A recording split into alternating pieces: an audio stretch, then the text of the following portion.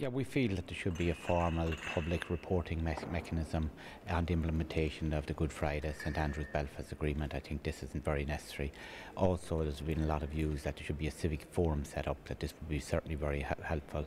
And thirdly, we feel that the, the various bodies should look at other ways of uh, implementing and looking at cultural, economic uh, cooperation, not just north and south, but on east and west. And I think this would be very, very welcome.